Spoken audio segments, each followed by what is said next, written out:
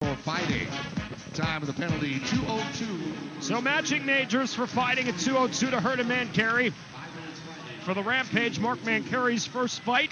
And San Antonio's 42nd fighting major. And another one breaks out off the draw here between Sam Henley and Matt Corrente. A rematch of last night's bout late in the third period.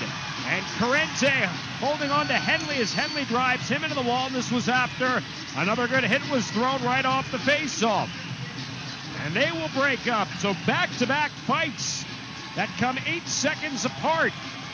First between Hernan Mancari and now Corrente and Henley, who squared off last night and will square off here again tonight.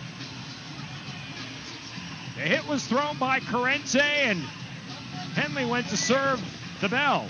But the question will be, did Henley get an additional minor penalty too on top of that for going after Corrente following his hit?